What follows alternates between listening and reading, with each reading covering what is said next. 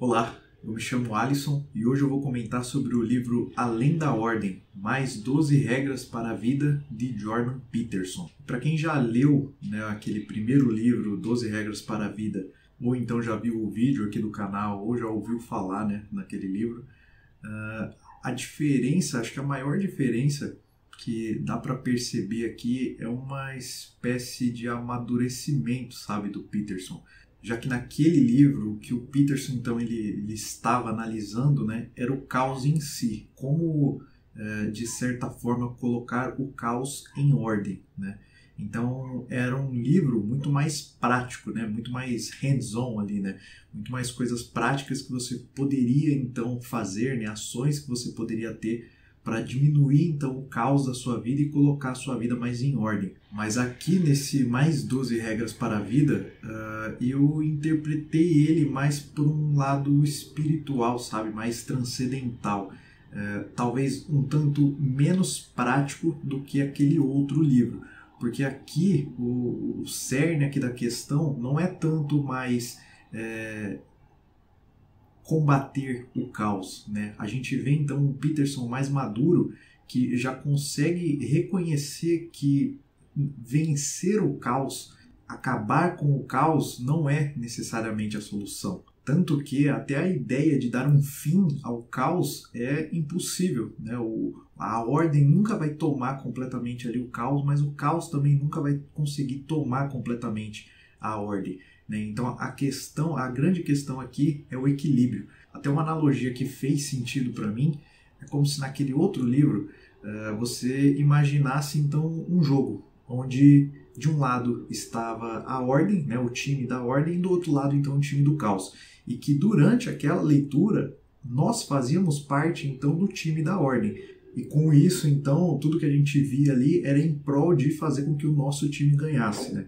Agora, nesse livro, é como se o Peterson ele saísse do jogo, né? ele enxergasse o jogo por uma outra perspectiva, e não somente ele, né? através do livro, ele traz a gente para essa perspectiva. E analisando de fora do jogo, a gente consegue ver que não tem vencedores, sabe? A ideia do jogo nunca foi ter vencedores, né? De que um lado então é, ganhasse do outro, mas na verdade o importante é o equilíbrio entre essas partes porque no final das contas, uh, o que é caos é aquilo que é desconhecido, né? aquilo que a gente não conhece. Porém, você tem, porém você ficar preso unicamente naquilo que você conhece, então que seria a ordem, também não é vantajoso, né? Porque às vezes você está deixando de conhecer coisas que poderiam ser muito proveitosas para você. Então, é importante que a gente é, organize a nossa vida né, com ordem, com base na ordem, mas é importante também que a partir do momento que a gente tenha é, conhecimento disso, de que isso não é o suficiente, é que a gente tenha então que começar a colocar o pé então para fora da ordem, sabe, para começar ali a tatear o caos, para que ele deixe de ser então algo que a gente desconheça, né? trazendo ele então mais próximo da nossa realidade. E é claro que com isso pode ocorrer então do caos começar a querer é, destruir ali né, a nossa ordem. E aí é, é, esse jogo de equilíbrio né, que a gente vê então aqui nesse segundo livro. Porque durante a criação então desse livro, diversas coisas ocorreram na, na vida dele, o que eu acho que influenciou bastante a pegada que esse livro aqui tem. Uh, a filha dele teve um problema bem grave ali de saúde, voltou a ter, na verdade, um problema bem grave de saúde. A esposa dele foi diagnosticada com câncer, então ela iniciou um tratamento né, contra o câncer. Uh, o Peterson, então, no meio de tudo isso, uh, fora todas as questões né, na, na, mídia, os problemas né, com a mídia que ele sempre teve, que ele sempre se envolveu, uh, acabou levando ele então para um, um lado de depressão, sabe? Porque ele estava se sentindo sobrecarregado e etc. Ele estava se sentindo com muito estresse, então ele recorreu a algumas medicações, pedindo até para os médicos aumentarem a dosagem da medicação, e ele, pelo menos inicialmente, não reconheceu os impactos que isso estava gerando no organismo dele. E o que aconteceu é que ele acabou ficando viciado nessas medicações, sabe? Então ele entrou num estado gravíssimo de depressão, onde ele teve que, para para tentar achar uma forma né, de se curar. Então ele fez alguns tratamentos alternativos para passar por uma espécie de desintoxicação né, em relação a todas essas medicações aí que ele tinha tomado. Bom, e nesse livro então nós temos mais 12 regras e aqui, como no outro vídeo, eu não vou passar por todas as regras, eu só separei duas delas que eu acho que foram as mais marcantes, sabe, para mim durante essa leitura. Bom, e a primeira é Do not carelessly denigrate social institutions or creative achievement. Então aqui o que ele vai comentar é para defender, né, de certa forma, essas instituições que hoje a gente vem acompanhando, né, serem atacadas. Uh, em que sentido? De que certas instituições já não deveriam mais existir, talvez muito por um discurso uh, mais progressista, né, mais liberal que a gente tem hoje em dia, que vai então em contrapartida né, com aquele ponto de vista mais conservador. E aqui o que o Peterson vai pontuar é que nada existe por acaso, sabe? Certas coisas não simplesmente existem sem razão alguma, né? Então a gente tem que tomar muito cuidado antes de querer destruir né, as coisas porque às vezes a, razão, o motivo delas existirem já não seja tão claro para a gente. Mas não quer dizer que essas razões não existam. Então talvez a questão não seja destruir, né? não seja você é, apagar, deletar essas coisas, mas sim ajudar a melhorar, né? achar uma forma então de melhoria e não de simplesmente de exclusão. E até sobre isso ele chega a comentar sobre as hierarquias, né, como exemplo. Uh, sobre como hoje qualquer exemplo de hierarquia é colocado quase como opressor, né? independente de que cenário que seja. E aí ele dá então um outro ponto de vista sobre isso, né? um outro argumento, no sentido de que, olha, vamos, vamos com calma né? nesse sentido, vamos com calma nessa conversa aí, porque as coisas às vezes têm uma razão de serem né? assim. E aí eu separei um trecho aqui. Exercer poder sobre os outros é uma coisa, muitas vezes algo egoísta, porém autoridade é muito mais um reflexo da confiança de algo num dado cenário, alinhado com a aceitação dos demais sobre essa autoridade.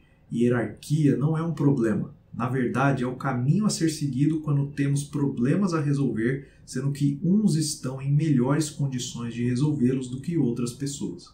E aqui até uma coisa interessante como ele faz uma ligação com Harry Potter. Né? Eu já cheguei a acompanhar algumas aulas do Peterson aqui no YouTube, onde ele faz também essa mesma analogia uh, com Harry Potter, né? no sentido de quebrar as regras. Né? Quando é ok quebrar as regras? Então, no sentido de que você deveria seguir as regras, seguir as regras é algo bom, é o que mantém tudo ali em ordem, porém, quando as regras uh, vão contra a ideia de bom, né? elas estão indo contra então aquilo que elas de deveriam defender. É nesse momento então que é ok você é, quebrar as regras. E aí o Harry Potter entra como um exemplo, né? no sentido de que eles sempre estão quebrando as regras, né?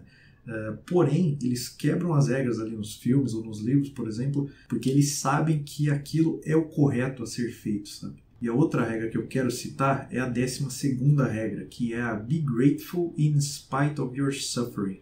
E eu acho que nessa regra aqui, com certeza, ele bebeu muito das experiências né, uh, traumáticas ali que ele teve durante esse período, como comentei no início do, do vídeo, no sentido de enxergar o lado bom, enxergar aquilo que você tem que ser grato que você deve ser grato mesmo nos momentos de sofrimento, né? Então de você não ser sufocado, sabe, pelo por tudo que estiver acontecendo de ruim na sua vida, mas reconhecer que você ainda assim tem algo a ser grato. E aqui, por exemplo, né, o Peterson ele vai citar a própria família dele, né, sobre como ela ajudou, uh, como todos os membros ali da família dele ajudaram ele, como amigos ajudaram bastante ele durante né, todo esse processo de desintoxicação, por exemplo. E essa daqui me lembrou até uma regra do 12 Regras para a Vida, uh, que é a acaricie um gato ao encontrar um na rua. Sobre o papel que a fragilidade, sabe, tem nas coisas, né? Então, como a gente só se preocupa, né? A gente só consegue zelar por aquilo que existe, então, uma, uma forma de fragilidade, né? Um exemplo que eu vejo algumas pessoas usando às vezes é em relação ao Superman, por exemplo, né? O super-homem. Como lá no início, né? Nos primeiros quadrinhos, você vê que o super-homem ele fazia coisas uh, absurdas, né? muito além do que o super-homem que a gente conhece hoje em dia.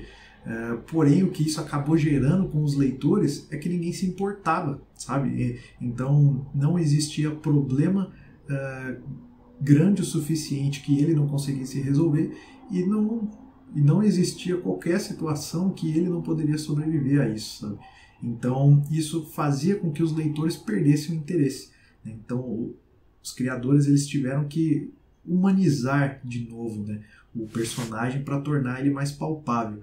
E o que, que é humanizar? Né? É você voltar com a fragilidade, sabe? Então, o Peterson, acho que todas essas experiências né, que ele teve uh, mostraram, não simplesmente mostraram, mas deixaram muito mais claras para ele a fragilidade, sabe, das coisas. Então, eu acho que é nesses momentos que a gente tem que parar para reconhecer pelas coisas que a gente tem que ser grato, né? mesmo que a gente estiver passando por um furacão de problemas.